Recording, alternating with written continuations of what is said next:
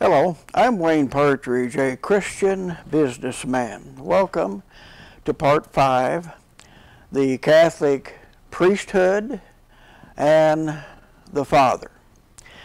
Before I begin, I must tell you that any church has got to be grounded and founded in and with the Word of God they, it must teach and preach God's Word.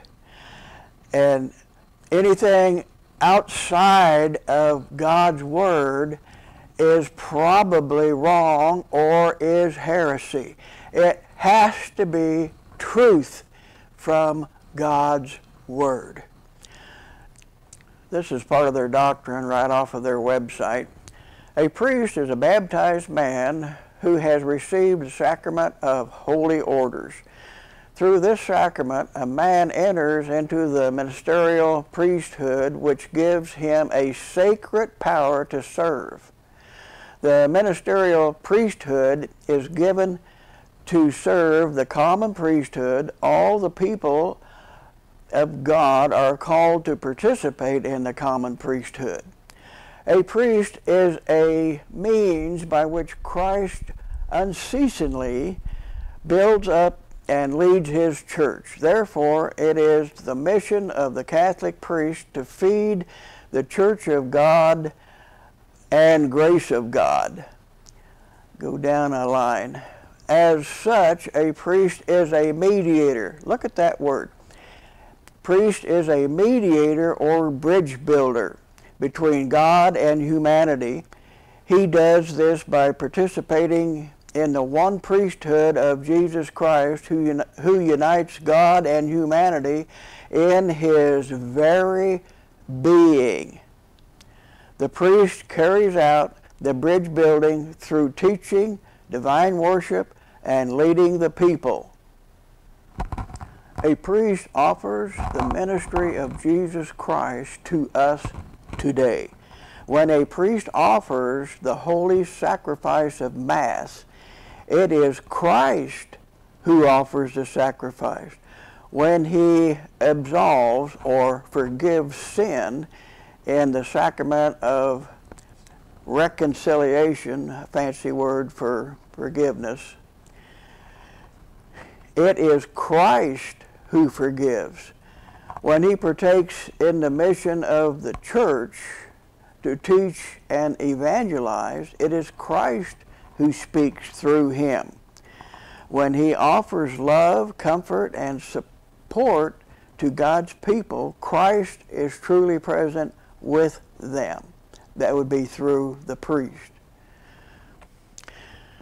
Okay, first of all, what we have here is a man.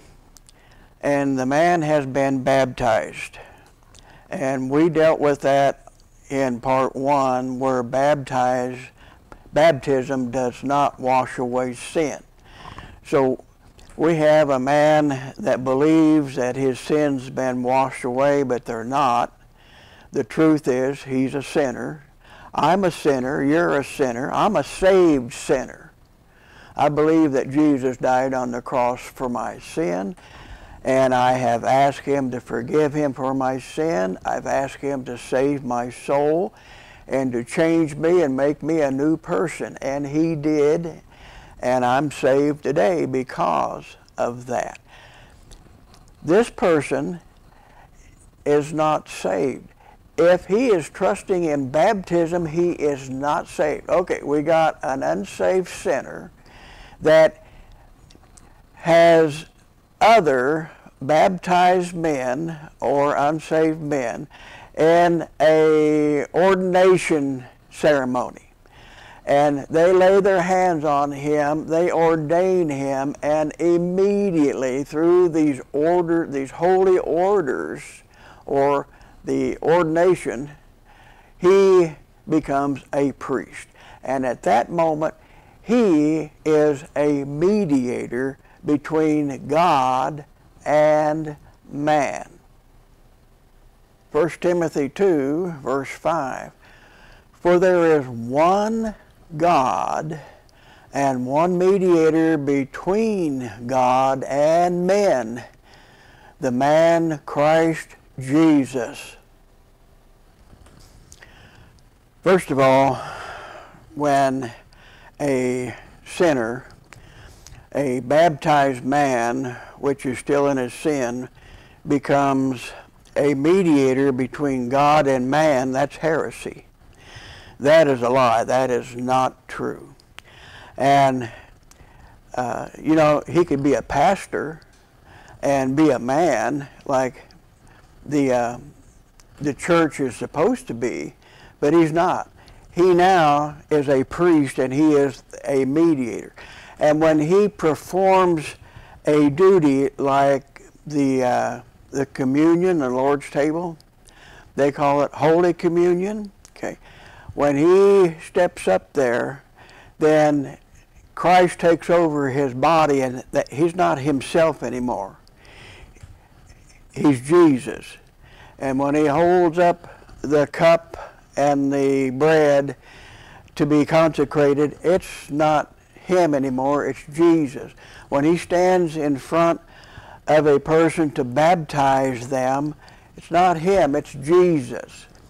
And anything that he performs as a priest He's not himself. He's Jesus Christ.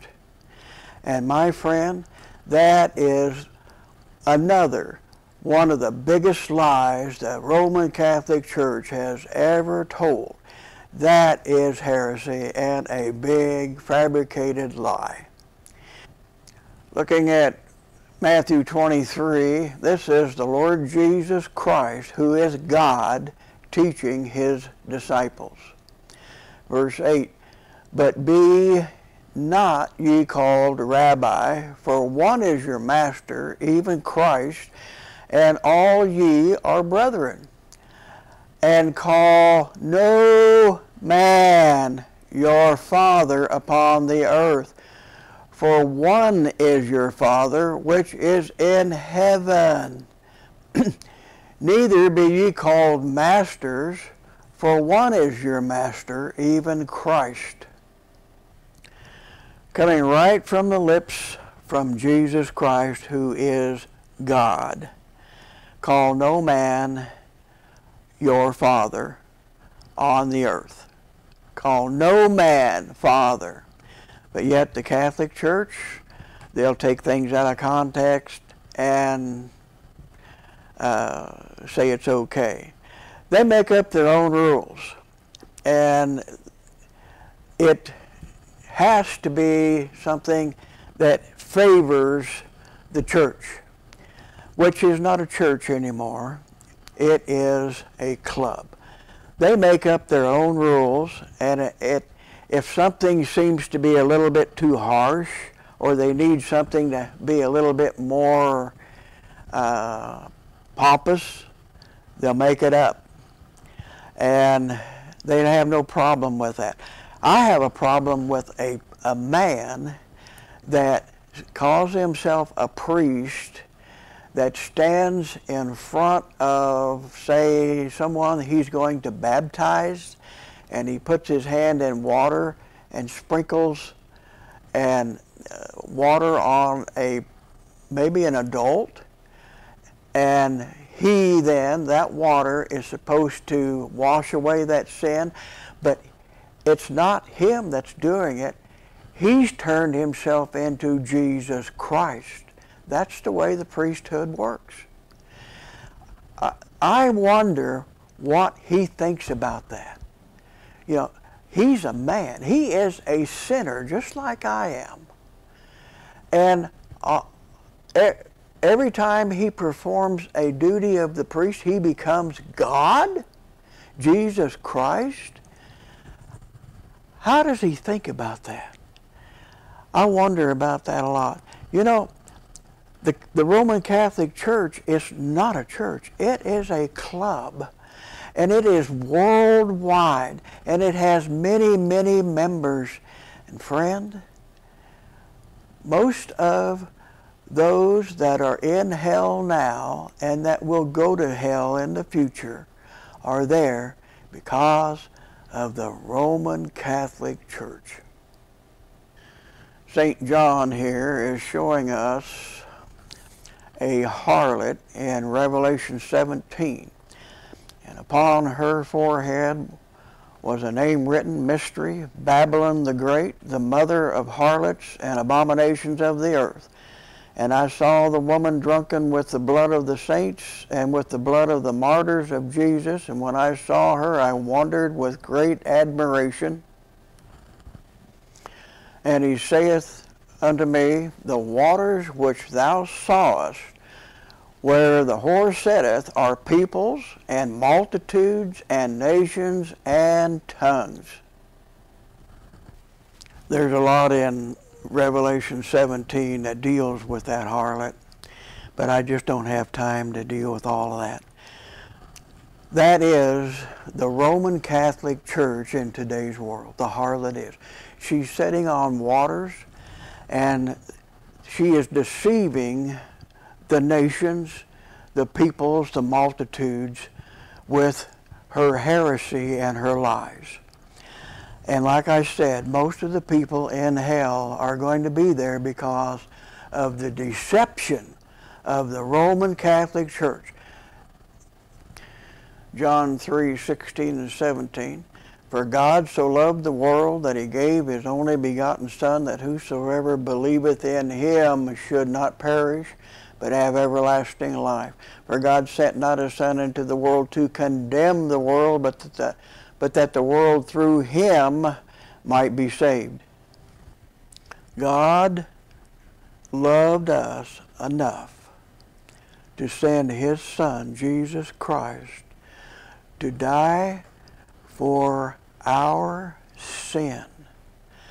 And if we will believe that in our heart and confess that with our mouth, believe that Jesus died for our sins, was buried and rose again, we shall have everlasting life. I would like to pray with you right now and ask you to be saved. If you are sincere in this, and if you want to genuinely be saved the Bible way, I want you to pray with me right now. Father in heaven, by faith, I believe that Jesus died on the cross for my sin. Forgive me for my sin. Come into my heart and save me. Save my soul. And I'll thank you in Jesus' name. Amen. I prayed that prayer November 4th, 1971, and it changed my life. I was a new person, and I wanted to live for Jesus Christ.